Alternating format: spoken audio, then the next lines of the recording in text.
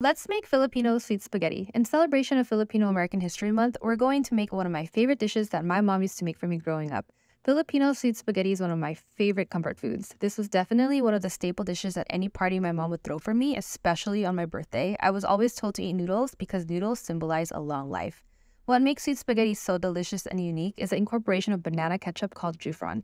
It's a popular food condiment made from banana, sugar, vinegar, and other spices. It's sweet and tangy. I also love the sliced hot dog toppings and the sharp cheddar cheese. Many use queso de bola or Edam cheese, but any quick melt cheese will do. This dish is definitely a crowd pleaser and will have people coming back for seconds.